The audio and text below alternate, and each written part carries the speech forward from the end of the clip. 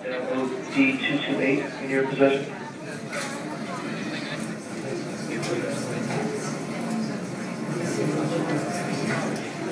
In about 30 seconds, folks, we enter that serious part, seven minutes of terror. That's just fine As the spacecraft difference the atmosphere. there with We start to show signs of atmospheric heating.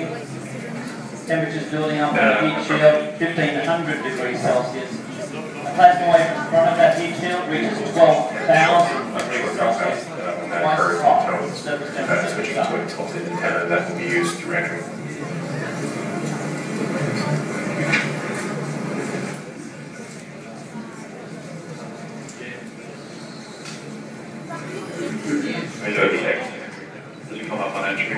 some very nervous faces in the control center.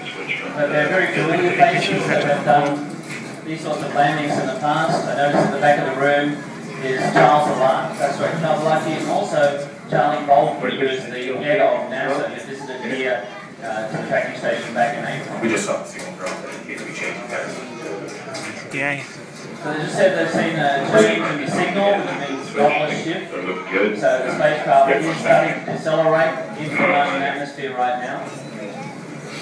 This is exactly what we wanted to see, so little re- reserved flaps that went on there. At this time, begin pressurizing the propulsion system to increase the thrust of the system. Uh, we use that for all the maneuvering in the atmosphere we're about to do.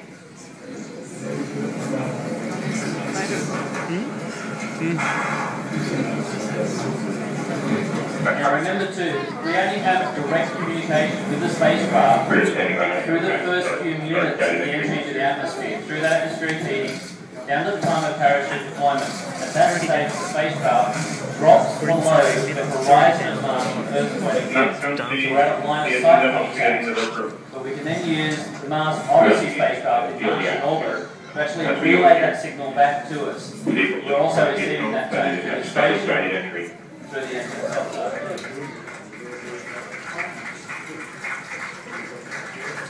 The indicators are fully into the entry phase now. Spacecraft is now starting to rapidly decelerate. We've reached that 21,000 kilometre mark and now decelerating down to about 3,500 kilometres per hour. So we're really bleeding off that speed fast. That's starting first next.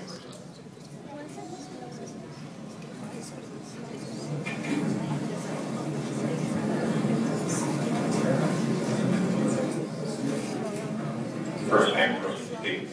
They are waiting for that UHF relay from Mars Odyssey spacecraft right now. Peak acceleration.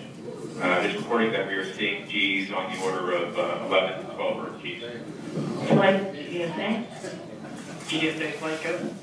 We are processing data from Odyssey. So they have linked now with Odyssey, we've locked on, and we have a signal from Odyssey through the station and sending that to Jet Propulsion Labs. Copy date reversal two complete. Thanks. So what that means, that guarantees we'll have communication locked with We the have a connection, but we spacecraft all the way down to the surface. Yet. Copy. We can expect some intermittent contact at this time as the uh, signal gets increased to Good data. Okay, copy. And visualization is updated, enter in alignment. So we've been able to confirm with that data that the spacecraft is aligned properly exactly where they want it to be, directly on course for landing at Darwin radar. Minus 1.2. Oh wow. Look at the telemetry. About 390 kilograms of fuel left in the spacecraft. DLT is reporting that uh, we are, uh, that things look pretty good, that we have the range control, we have control, we have merged uh, a lot of the error, and we should be heading for the target.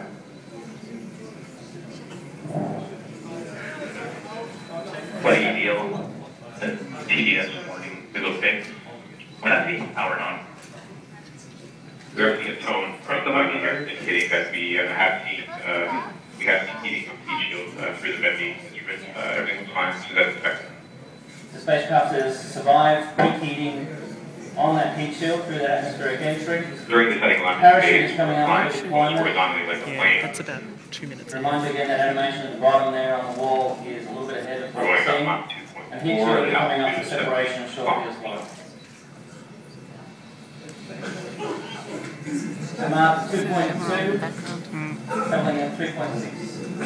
Vehicle reporting heartbeat once again, uh, indicating that everything is fine, we're heading alignment. Uh, We are standing by for straighten up and fly right. And parachute deployed. Did he just say straighten up and fly right? Wow. They will continue to accelerate down to about Mach 2. As a reminder, we should have parachute deploy around Mach 1.7. We're at 15 kilometers altitude. We've begun entry balance mass jettison. Predicted Stand minimum by for parachute downrange is 1.597 kilometers. So another set of ballast plates are separated, coming up separation from the back shell. This lines up for the parachute deployment and the got separated. Involved in some light shows. Enough simple got Parachute deploy. JBL, I guess. Parachute. Parachute has deployed.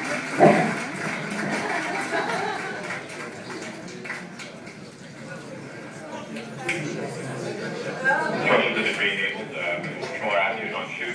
We are decelerating. Risk mode, Yay. accelerating. Successful. 150 meters per second. Traveling 150 meters per second. Second phase. On the parachute, that's Uh, extremely good news. Having the spacecraft on the Risk mode is parachute nominal. is absolutely We're critical. nine kilometers, eight, I think. That's the guy that did, the rovers. Steve's. It is time to down radar. Radar is locked on the ground, they can get altitude Keep readings. us separated, we're the ground. Heat shield has separated. Expected. We're using guide to prime the MLE engines in preparation for power play. We're down to 90 meters per second at an altitude of 6.5 kilometers ascending. About to have a coronary.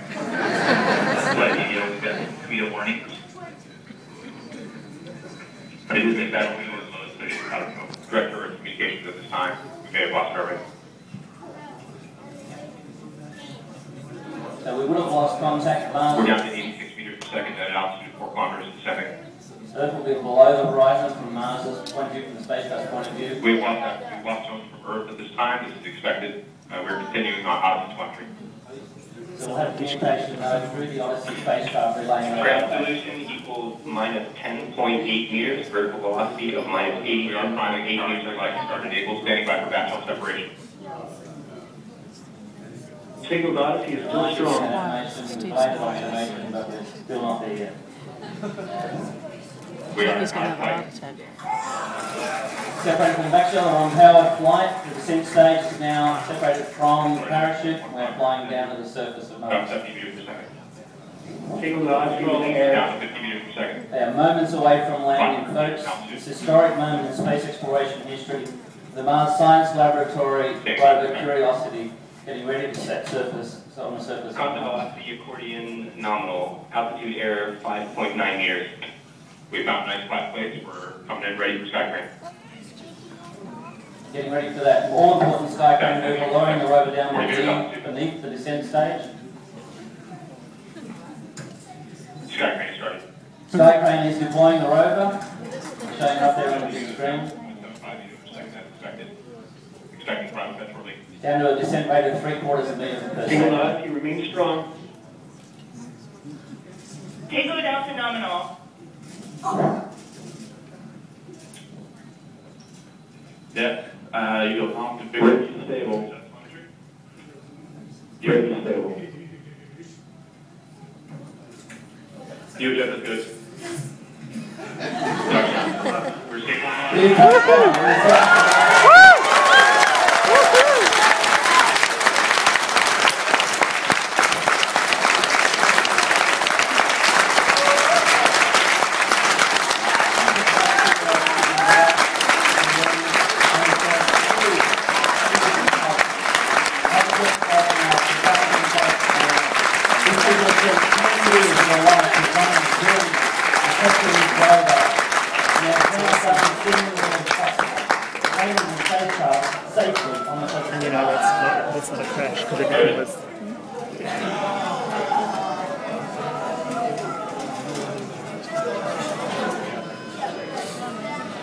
a very, a very, very happy crew there at JPL right now. From Curiosity. So that's not the over its top. So it's happy at this moment. It's light on the.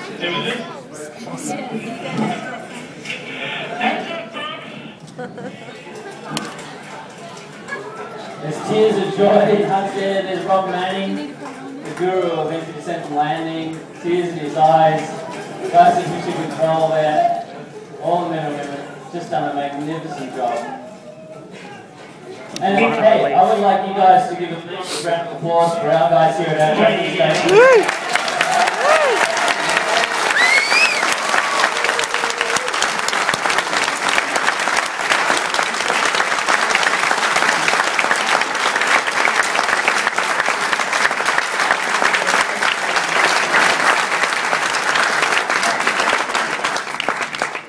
Thank you, and I appreciate it. So everybody needs to get settled down.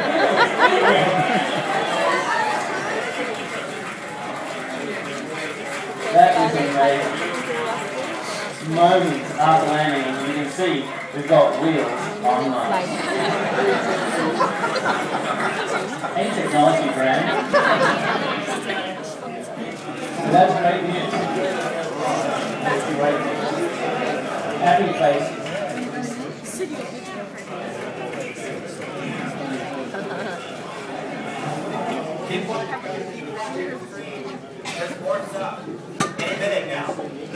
They're expecting more images, so it has gone perfectly, folks. This is absolutely equivalent textbook landing on of Mars and seas. Landed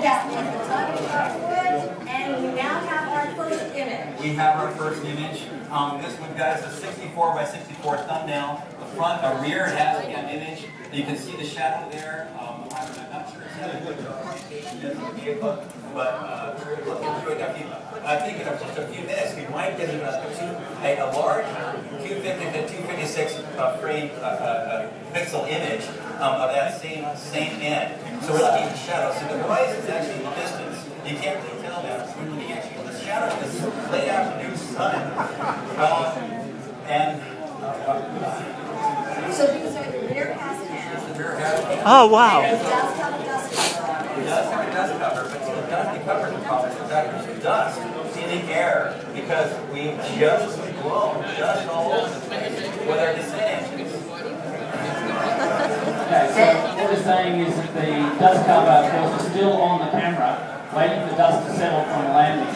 What will then happen is they'll release the dust cover, another image will be taken, If we get higher we resolution. might get oh yeah, This this is- is the higher Here it is, it's coming back now. Oh, wow.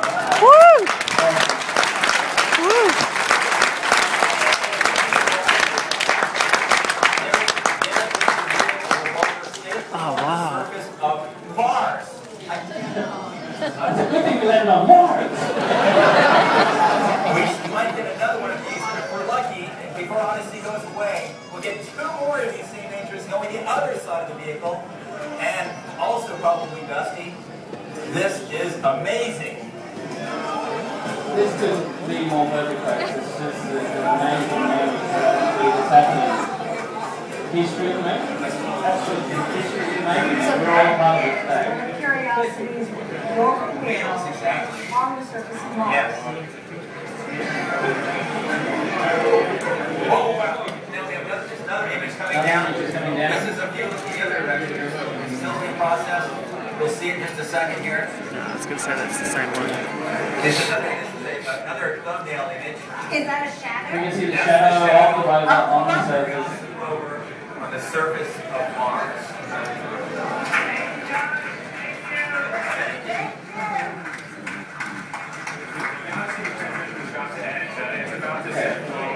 Very shortly. So Uh, so this is about all the orbiting we have. will But pass things look great. out of communication range for Curiosity. Thank you very much. We'll lose contact with it. Thank you.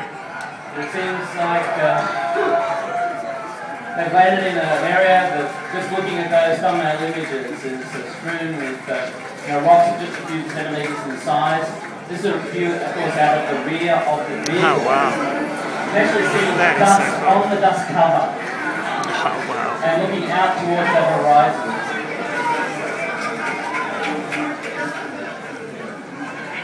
depending on where they're landing, my interpretation, could be actually seeing sand dunes, dark sand dunes in the distance.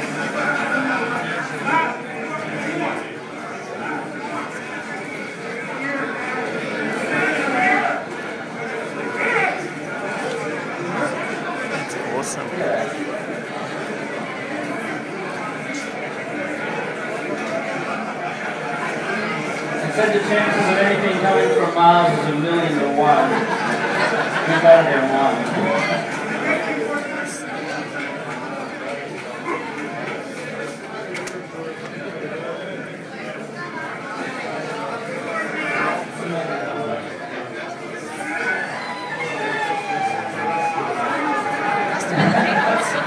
Feeling beginning happier with JPL. Of course, ubiquitous uh, phones are out taking photos. People recording their own moment, being part of this amazing mission.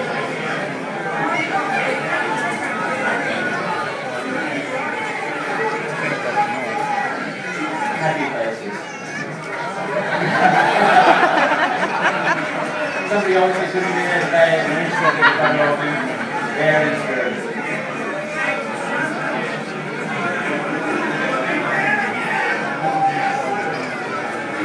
They continue to, uh, Oh, another one. Look up images they have, they can uh, take out the fisheye lens effect, straightening those images out, they do some image enhancement.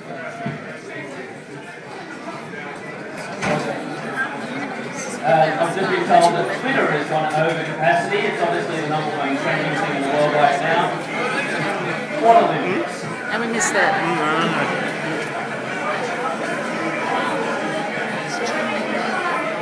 I'm just going to take the volume down here just for a moment, just to um, do a little bit of wrap up and go back to this.